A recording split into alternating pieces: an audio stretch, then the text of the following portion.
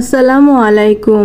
Hi viewers, আজকে আমি তৈরি করব কাঁচা আমের পাল্প, যেটা দিয়ে সারা রমজানে আমি ইফতারির শরবত তৈরি করতে পারব।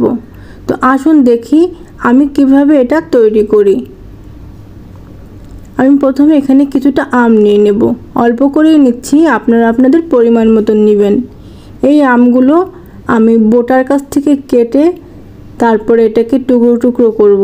মাঝখান থেকে ফালি করে চিড়ে ফেলে এর ভেতরে যে কচি বীজটা আছে আঠি, এটা ফেলে দেব। দিয়ে আরও একটু টুকরো করে নেব। আমের ফ্লেভারটা যাতে স্ট্রং থাকে, সেই জন্য আমি এর খোসাটা নিয়ে নেব। ফেলব না। সেই জন্য একটা কাঁচা আম কাঁচা আম যে একটা ফ্লেভার, এই ফ্লেভারটা এখানে থাকবে। এখন কম বেশি সব জায়গাতেই ঝড় বৃষ্টি হওয়ার কারণে এই কাঁচা আমটা কিন্তু অহরহ সব জায়গাতে পাওয়া যাচ্ছে। আপনারা চাইলে অল্প অল্প করে বা একবারে সারা রমজান খাওয়ার জন্য এটা তৈরি করতে পারেন। এটা কিন্তু রোজার সময় বেশ রিফ্রেশিং একটা শরবত হতে পারে এবং আমাদের গরমটা কাটাতে দেবে। কাঁচা আম কিন্তু শরীরের জন্য অনেক উপকার। এতে প্রচুর পরিমাণ ভিটামিন সি রয়েছে। তো এই আমগুলো আমরা এরকম করে টুকরো করে নিয়েছি। এই আমগুলোকে আমাদের পাল্প বের করতে হবে। তার জন্য এরকম টুকরো টুকরো করে নিয়েছে। আর ভালো কথা, এটাকে যে আগে থেকে ধুয়ে পরিষ্কার করে নেওয়া, এটা কাটার পরে এটাকে আর ধোয়ার কোনো দরকার নেই। এরকম করে শুধু কেটে নিলেই হবে। আর এভাবে কাটা হয়ে গেলে তখন এটাকে আমরা একটা বাটিতে নিয়ে নেব। আমার এখানে আছে আধা কেজি পরিমাণের আম, যেটা হচ্ছে আমি এখান থেকে পিওর পাল্পটা বের করব। এটা বাটিতে ভরে নেব। নিয়ে এটাকে আমরা চলে যাব চুলার কাছে। এবার আমি চুলাতে একটি কড়াইতে পানি দিয়েছি। এই পরিমাণ পানি, যে পানিটায় আমগুলো দিলে আমগুলো ডুবে যাবে। চুলাটা জ্বালিয়ে দিয়েছি এবং সব আমগুলো দিয়েছি। আর আমের কষ ভাবটা দূর করার জন্য এখানে সামান্য পরিমাণ লবণ দিয়েছি। হাফ টেবিল হাফ চামচের একটু কম। তো এটা দিয়ে একটু নাড়াচাড়া করে এটা ঢাকনি দিয়ে ঢেকে দেব সেদ্ধ হওয়ার জন্য। আর এই সেদ্ধ হওয়ার প্রসেসটা করতে হবে অল্প তাপমাত্রায়। মিডিয়াম টু লো আছে। বারবার উঁচু করে নেড়ে নেড়ে দেখব কেমন হয়েছে। আমটা যতক্ষণ না পর্যন্ত সিদ্ধ হয়ে স্বচ্ছ একটা কালার আসবে ততক্ষণ পর্যন্ত এটা ঢাকনা দিয়ে মৃদু আছে বয়েল করে নিতে হবে। এবং ঢেকে দিয়ে দিয়ে এই রান্নাটা সম্পূর্ণ করতে হবে।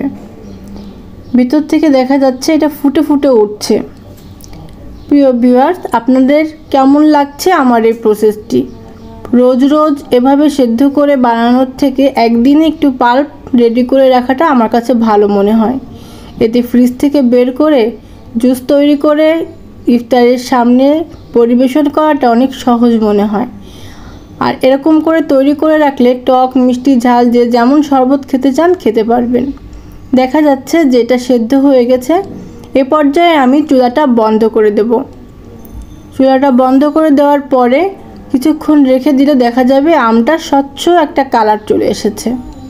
এবার আমি এখানে থেকে আমগুলো ঠান্ডা করে তারপরে আমার ব্লেন্ডারে আমি একটু ব্লিন্ড করে নিয়ে আসব। এই খোসা সহই ব্লিন্ড করে নিয়ে আসব। তো ব্লিন্ড করে নেওয়া হয়ে গেছে। এবার আমি যে পানিটা, ওই পানিটা এর মধ্যে দিয়ে দেব। দিয়ে একটু নাড়িয়ে নেব। পানিটা আমি ফেলব না, কারণ ওটাও টক পানি, আমের পুষ্টিকর পানি।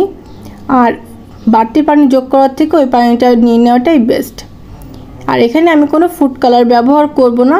আর ভালো বলে রাখা যে আমি এখানে এক মোট পরিমাণের পুদিনা পাতা ব্যবহার করেছি ব্লেন্ড করার সময়, যেটা আমি দেখাতে ভুলে গেছি। তো এইভাবে আমি এটাকে সেকে নেব। একটা শাকনি দিয়ে, যেহেতু আমরা খোসা নিয়েছিলাম, সেহেতু এটা আমাদেরকে সেকে নিতে হবে। তারপরে এটা আমরা অল্প অল্প করে দেবো, যেহেতু ঘন পাল্পটা, সেহেতু অল্প অল্প করে দিয়ে চামচ দিয়ে নাড়া দিয়ে দিয়ে এটাকে সেকে নিতে হবে। এটা করতে একটু সময় লাগবে। আমি আপনাদের প্রসেসটা দেখিয়ে দিলাম, কিন্তু পুরো ব্যাপারটা আপনাদের সামনে করতে সময় লাগবে বলে স্কিপ করে দিয়েছি। এভাবে করে নাড়াচাড়া করে করে পুরো পাল্পটা সেকে নিতে হবে। এর মধ্যে যে খোসা ছিল, সে খোসাটা বেরিয়ে যাবে। এখানে আমার আধা কেজি পরিমাণের পাল্প রেডি তো এই ছিল আমার আজকের রেসিপি তত পরবর্তীতে আবার দেখা হবে। ভালো থাকবেন সবাই। ভিডিওটি সম্পূর্ণ দেখার জন্য ধন্যবাদ।